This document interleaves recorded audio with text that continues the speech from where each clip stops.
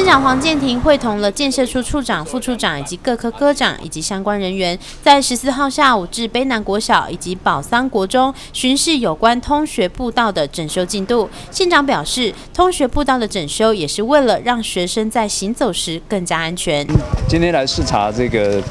呃通学步道的工程啊，呃特别看到宝桑国中这一部分啊，呃因为整个呃，设计规划让原来的校园的围墙那么内缩哈，把空间让出来，让学童啊来上学的时候来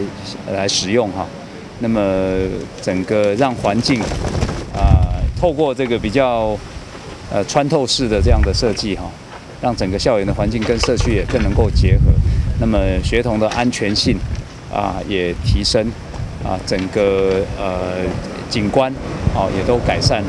因为原先校园的围墙紧邻着大马路，根本没有步道而言，也造成了人车争道的情况，相当危险。而这次校园步道的整建也是一个开始，以后会有点线面扩展来针对市区的道路整修，让行人在走路的时候更加的安全。以上新闻东泰新闻部发林卢立成的采访报道。